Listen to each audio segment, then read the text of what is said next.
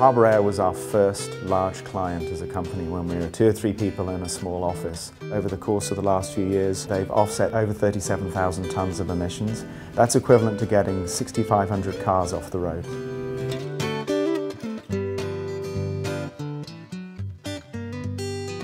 Offsetters was the one that was most visible to us in the local community. Uh, James Tansey was somebody that I had been introduced to before and it was really important to us to have uh, the credibility behind an organization that when you know questions arise as they inevitably would about carbon offsets and, and, and how they work that we were able to refer uh, those questions to somebody very credible.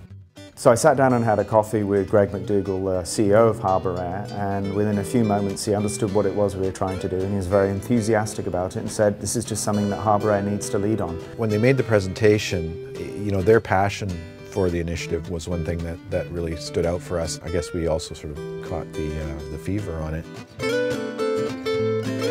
We take a comprehensive approach to carbon management with our clients and what that means is we start by looking at the greenhouse gas emissions from across their operations and sometimes all the way down their supply chain. We help them understand where the greatest emissions occur uh, in the production of their goods and services. And then we help them design strategies for reducing those emissions uh, and when they've reduced what they can reduce, at least in the early stages, we help them offset the balance with high quality carbon offsets. From there we moved very quickly to implement the program. Within a few weeks we had the system in place for passengers. Then over the next few years worked on a number of really interesting initiatives with them.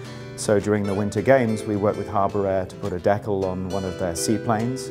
Uh, it flew in and out of the harbour every day and got a huge amount of attention. The staff of this company is predominantly quite young and most of the younger people these days have a great concern for the environment. I think it's done uh, a lot for us to be able to not only retain good staff but attract good staff. Well, it's nice because the environment is such a big issue that when you have a company like Harbour Air that does have such an obvious impact on the environment, that they do have a program in place that offsets that impact. The achievement of being carbon neutral makes me feel proud to work for Harbour Air because reducing and offsetting our carbon footprint is one of the most important things we can do for the environment. You know, until we have uh, an environmentally sound method of transportation or an energy source that is renewable and clean, we can do something positive in the meantime, which is great.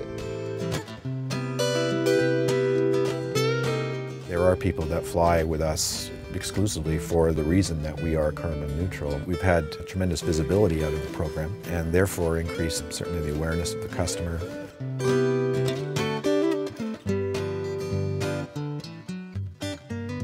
Harbour Air was the first carbon neutral airline in North America. That's attracted a lot of attention and of course attention to our business is a good thing.